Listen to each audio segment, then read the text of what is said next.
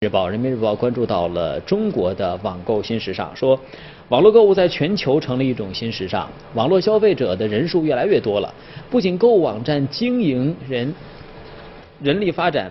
竭力的在发展自己的产业，政府也为网购提供了很多的便利。文章说，在中国政府一直致力于采取多种措施来扩大消费、拉动经济增长。